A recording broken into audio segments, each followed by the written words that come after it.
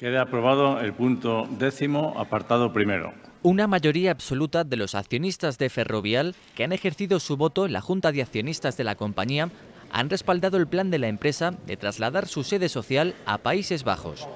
Con un quórum del 77,6%, la Junta ha dado luz verde a la operación, por la cual la matriz española se fusionará con su filial neerlandesa, cuyo resultado creará una nueva firma con sede en ese país y que supondrá que la multinacional deje de ser española.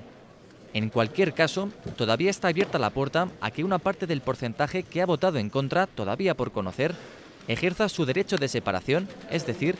venda sus acciones a la empresa por su oposición a que se ejecute ese traslado. Si solo un 2,57% de los accionistas lo ejerce en el plazo de un mes, a contar desde este jueves, la operación no saldrá adelante, puesto que la contraprestación a pagar por Ferrovial superará el límite de 500 millones que fijó en los términos de la operación. Si nadie ejerce ese derecho, o al menos no se llega a ese porcentaje, se cerrará así un periodo de más de un mes y medio de tensiones entre el gobierno español y la compañía, después de que el primero trasladase su disconformidad con la operación y la segunda defendiese su derecho de acometer una fusión transfronteriza.